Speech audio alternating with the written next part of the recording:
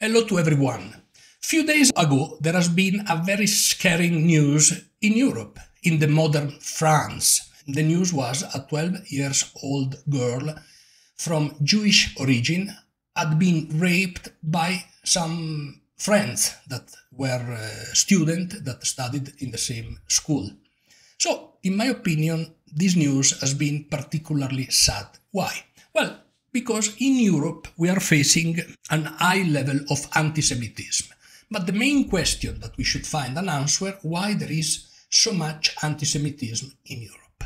Well, there are several reasons that explain this tremendous backlash of anti-Semitism. But before going on with the presentation, please remember that there is my book on the European Union, Eurodementia. This is the Spanish version because I didn't receive the, the English one, but you will find the link in the description of this video so you can find the, the way to, to purchase it if you are interested. At the same time, if you like my video, please remember to give me your like, to subscribe to the channel, and please share this video with your friends. So what are the reasons, in my opinion, of the high level of anti-Semitism in Europe? Well, Europe has been experiencing a relativism of its society. In which way?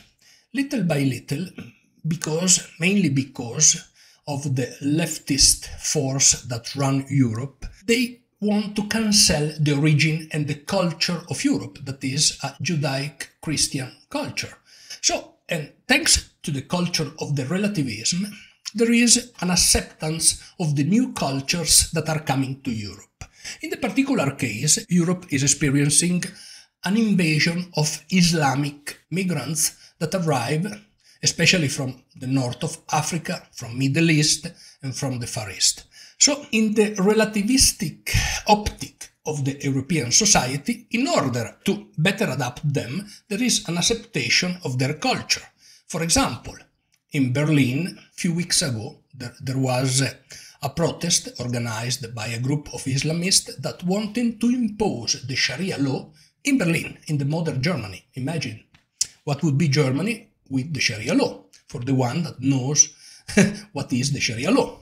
So, from we have first the relativism, second the mass immigration of Islamic people from Islamic culture, and then there is a third factor that is ignorance. If you see the many marches that run around Europe, England, of people protesting against Israel, you will see that in these marches usually you have also the LGTB plus community that protest together with people that are pro-Palestine. But at the same time, you have these people, they don't know that actually these community are widely repressed in the Islamic country.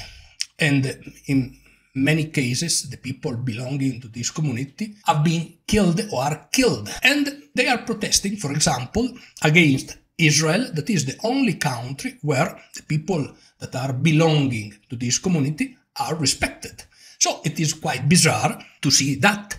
Or many students that protest, that sing genocide song like From the River to the Sea without knowing ex exactly the meaning of these songs. They simply go and they protest without knowing exactly the reason why they are protesting. So uh, this is unfortunately, the situation in Europe, a Europe that little by little is forgetting its past in order to embrace new way of seeing the world. Part of the past that is forgetting, that in my opinion it shouldn't be forgotten, is the fact that in Europe there has been a terrible genocide and the victim of this genocide had been the Jewish community. And the responsible of this genocide is not only on the shoulders of the Germans, is on the shoulders also of many other nations that had been invaded by the German, but in, in, which they found the collaboration of local people in order to denounce, for example, Jewish people. So there is a mixture of factors, and but probably the one that is the dominant one, in my opinion, is ignorance. A lot of ignorance. And this is, this, in my opinion, the sad explanation why we have so many anti Semitic sentiments all throughout Europe. Please, if you like this video and this analysis, subscribe to the channel and share this video with your friends.